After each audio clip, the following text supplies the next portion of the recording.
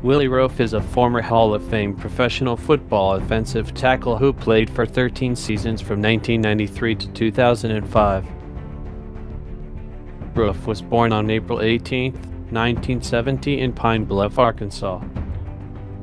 He attended high school at Pine Bluff High School in Pine Bluff, Arkansas. In college, Roaf played for the Louisiana Tech Bulldogs and Ruston, Louisiana. In 1992, he was named First Team All-American. In 2003, he was inducted into the Louisiana Tech Athletic Hall of Fame.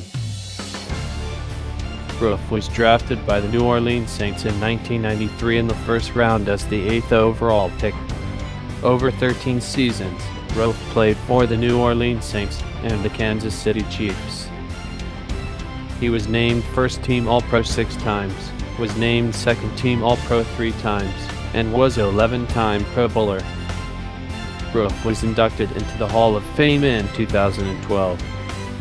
He was named NFL 1990s All Decade Team and was named in NFL 2000's All Decade Team.